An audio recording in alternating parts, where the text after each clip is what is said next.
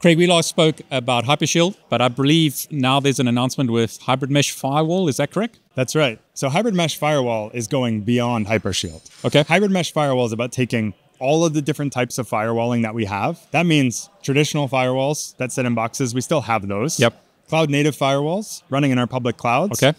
Firewall as a service running as part of our SSE. Hypershield doing application security and even advanced security techniques like AI defense Okay. or security inside of CNI, bringing all of that together and managing all of that firewalling in one place in a single pane of glass so that we can have a consistent, uniform set of enforcement across a disparate set of enforcement points within the network. It's interesting that you use that word, and you've mentioned this before. We're not talking about a firewall, right? We're talking about firewalling. Is uh, what's the difference there? Yeah, I mean, I think a firewall was a box. A Yep. firewall was a place in the network Yep. I sent traffic. But modern networks don't really have perimeters. Yep. Don't really have boundaries. It's really hard to think about sending everything through a box, and that's Yep. where I'm going to do inspection. Yep. So, by its very nature, modern security requires firewalling to be distributed across many different points of observation and enforcement. And as a result, we need to think about the management of that infrastructure much differently than we thought about the management of a single box. Is this a product, or is this like a solution of a, a range of products, or It's a range of products. So hybrid mesh firewall is really the application of all of these different types of security technologies managed through a single pane of glass. In Cisco's world, we do that through Cisco Security Cloud Control. Okay. And it combines